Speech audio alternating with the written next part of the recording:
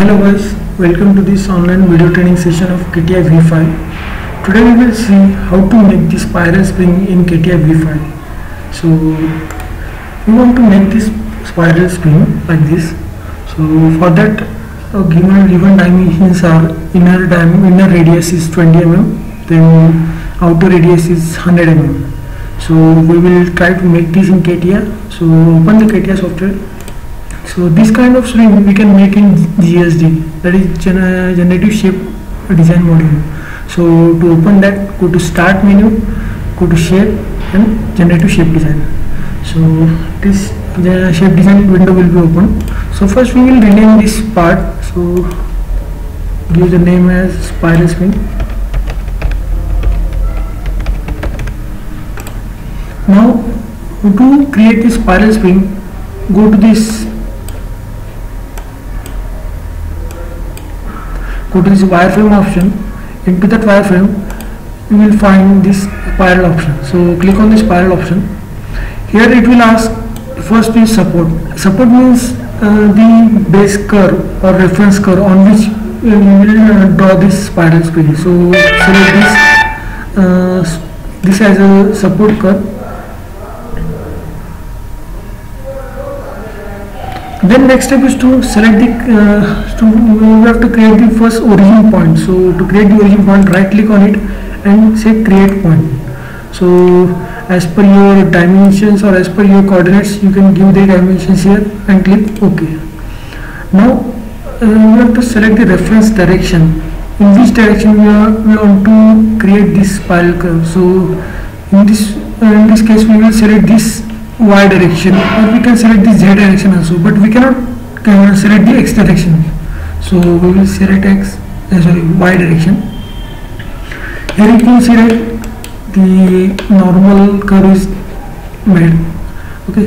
Uh, now we have to define the start radius. As I mentioned earlier that our starting radius is 20 mm so we will give it as 20 then we select the orientation that is clockwise or anti-clockwise so on counterclockwise then according to type uh, which means uh, which uh, which kinds of dimensions you have according to that you can select the type.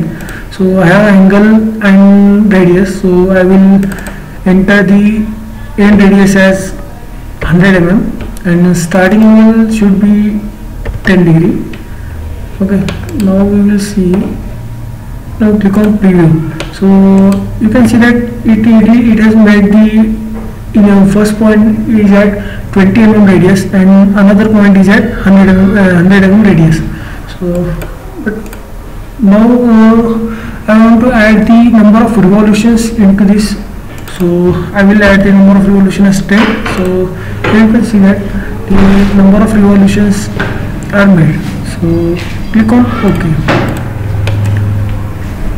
so in this way we have made the spiral spring now the next step is to create this straight line and this uh, bend okay? So to make that select the base curve and click on sketch. Now the next step is to draw this line. Then constrain it. Click on double click on constraint first we will coincide this point then we will make it as a tangent. Then we will define some specific angle between this. So my angle should be 50 degree. Um, so 50 is to less 60 degree. Then the height of this curve should be 120 mm. Okay. Now we have to add one fillet here. So we will add fillet here of having radius 10 mm now our curve is ready. So we click exit workbench now we have to join these two curve so okay so to join these two curve go to the join menu select this curve and this curve and click ok. And this way we have joined these two curve okay. Now the next step is to draw the cross section. As I have mentioned here it is a rectangular cross section so first of all we have to create one plane on this uh, point. So to create a plane go to the wireframe menu plane. So first select the curve and then select the point. In this way uh, we can create the uh, curve on the uh, normal to the curve okay? Then click on ok. Now we have to create the sketch on this plane. So we will create one simple sketch